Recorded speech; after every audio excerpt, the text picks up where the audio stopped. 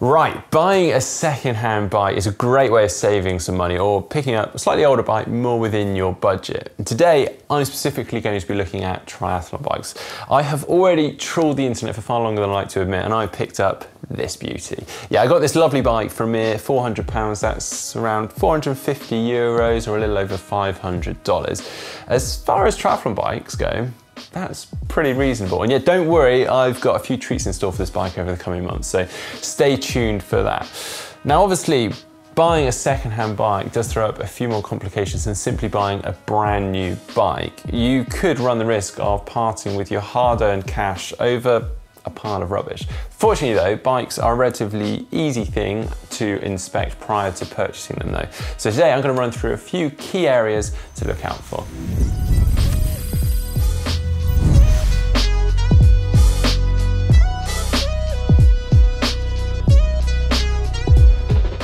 Right, first off, where do we buy from? Well, the choice is almost endless these days. We've got eBay, Craigslist, Gumtree, Facebook Marketplace, local papers, clubs, word of mouth. The list just goes on. I think you get the picture. And they all require slightly different tactics, but a couple of things that do remain the same are that you must go in knowing your budget and also your rough frame size. I say rough simply because the sizes do vary a little bit from bike to bike and brand to brand. Hopefully though, fast forward through that searching process, which can take some time, and hopefully you find yourself in the position of going to view a bike. And I really do recommend going to view before you buy rather than simply buying online and hoping for the best. I appreciate that may be difficult during current times in some parts of the world.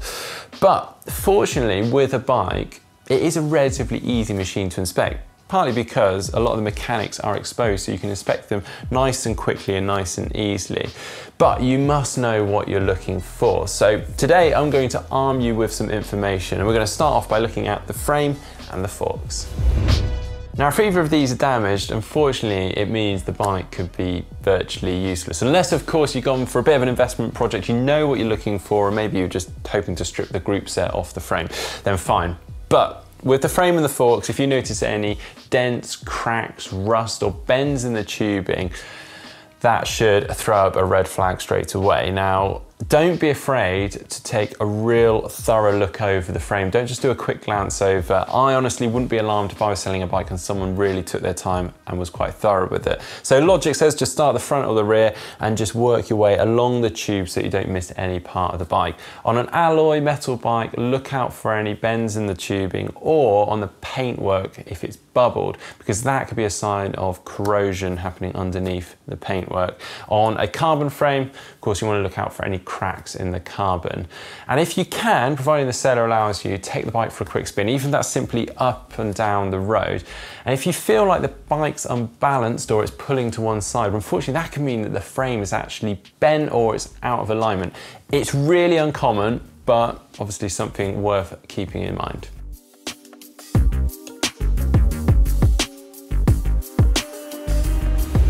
Okay, if the frame and the forks are okay, now let's move on to probably the next most important part of the bike, the wheels. Now, of course, these can be easily replaced, but also if they were adding significant value to this second-hand bike, perhaps they were part of the selling factor of the bike because maybe there's some deep section race wheels, then of course you maybe want to pay closer attention to them. But of course you also do want to be paying for a working bike. So with the wheels, start off by just simply spinning them just to check that they are nicely aligned. If they run absolutely fine, then great, you're on to a winner. If there's a slight dinking them from side to side, that can perhaps just be trued and sorted quite easily. But if you notice a dink in them by more than a couple of mil from either side, then that could be more of an issue and maybe even just truing won't be able to do the job. It also makes you question how well the bike has been looked after anyway.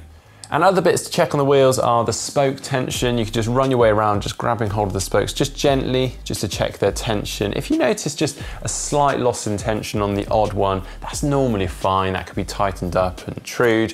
But if you notice they're severely loose or multiple spokes are loose, that is obviously more of a worry. And then the other bit to check, particularly on rim brake wheels, is the condition of the rim themselves. If they're really worn or even going concave, then they definitely need replacing. Okay, now moving on to something we can't actually visually inspect, but we can still certainly feel for their condition, and that is the bearings. Now, these are basically in all the moving parts of the bike, so in the headset, in the bottom bracket, and the wheel hubs. Now, personally, I like to start at the headset, partly because I feel like they're a good sign of how well someone looks after their bike, or not, as the case may be.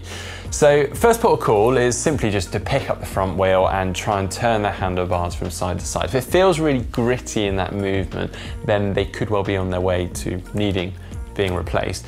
If they feel like it's getting stuck and it's really, really jolty, then they're definitely gone and they definitely need replacing. Fortunately though, headset bearings are pretty cheap to replace. So in the grand scheme of things, I wouldn't be too worried about that. The next test is to put the bike down on the ground, hold on to the front brake and try shunting or rocking the bike back and forth. Ideally, you shouldn't feel any play or movement in the front end, but if you feel a knocking back and forth, then again, they're probably going to need replaced. Or, as I found, because I did experience this knocking back and forth when I got this bike, then it could well be that just the bearings and in their little cups aren't aligned correctly. So I just needed to take the stem off, realign them and pack them back in better, tighten it all down, and that sorts the job for me for free.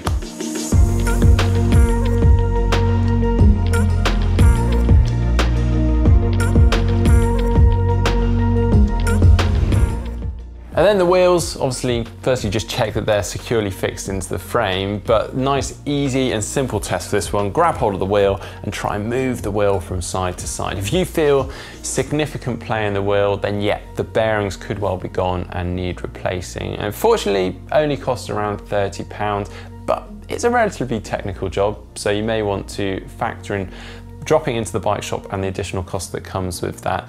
Then moving on to the bottom bracket bearings. Now this allows the crank arms and pedals to spin freely. So you've probably guessed the test for this one. Yeah, just spin the crank arms, spin the pedals. Ideally you want them to spin nice and freely. If they don't or they slow down very quickly, then unfortunately the bottom bracket may need replacing. Again, not that expensive, normally around 30 to 40 pounds for a bottom bracket bearing. But if you feel significant play in the actual crank arms from side to side, then that could be something more sinister and something you want to be careful with. And whilst we're down here, we may as well talk about the drivetrain. Now this part of the bike, essentially, as the name suggests, helps to drive us along. It's made up of numerous parts which do all wear out with time, so they do need replacing, which is absolutely fine. But because they're all interlinked, they do quite often all need replacing at the same time. So we're going to start by checking the chain. You want to pop it into the big ring and then grab a link of the chain by the chainring. Try to pull it away. If you can pull it more than a few millimeters off or expose the tip of the chainring teeth, then it most certainly needs replacing. It's also good practice to replace the cassette at the same time as the chain so they kind of bed into one another. And if the chain's worn out, then it's worth also checking out the chain rings and the chain ring teeth. Ideally, we don't want any uneven wear on the teeth, so one side more worn than the other, or a kind of shark tooth-like effect on those teeth. If they are, then they'll need replacing. And Fortunately, you can replace the chain rings without actually having to replace the whole cranks. They can be taken off individually, but prices for chain rings do vary considerably. And then on to the actual gears. So does it shift from the small ring to the big ring and vice versa? And can it run through the rear cassette nice and happily? Now, if it's struggling on any of those and it's the actual mechanisms, both the front and the rear, that are causing that, then that can be a costly fix. But more often than not, it's actually just the cables running to those mechanisms. They're either slightly rusty, corroded, they're sticking a little bit, or the gears just aren't set up at all. Now, a nice way to check this is by actually manually pushing on the front of the rear mech gently to see if they'll move. Now, you should only do this on non-electronic group sets, not the electronic group sets. So on the front mech, just push that with your thumb it is a little bit more stiff than the rear mech, but it certainly shouldn't be a workout to move it. If it is more stiff than you expect, then it may just need simply a bit of TLC. Same on the rear mech, just be gent more gentle with that one to push it through the gears. Uh, again, if that's stiff, may need a bit of TLC, but if both are overly stiff and you're struggling to move them, then unfortunately it could be a replacement too.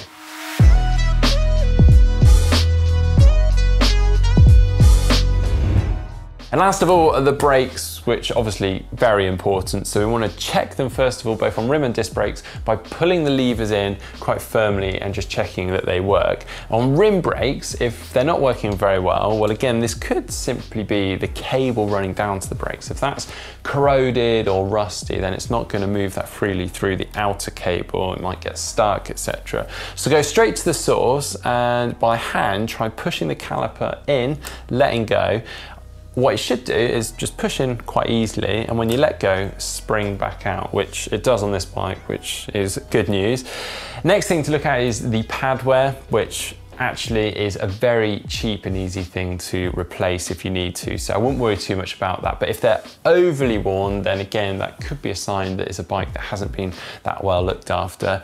Disc brakes, a little bit more tricky to look at when you're inspecting over the bike, but things to look out for, if they feel spongy or you can pull the lever all the way back in, then they could need bleeding again. If the pistons are moving in and out from the actual caliper itself, happily, that's something to look into. And also the pad wear, if they're all fully worn out, they'll need replacing, but if they are fully worn out, then you also may want to check the actual disc, the rotor itself, because that may mean that you've had metal on metals, they've been scored, and that's going to affect their performance going forwards. And that obviously ends up being a little bit more costly, and again, makes you wonder how well that bike's been looked after in the first place. Now, from experience, having been on both sides, don't be afraid to ask questions. It's really, really important.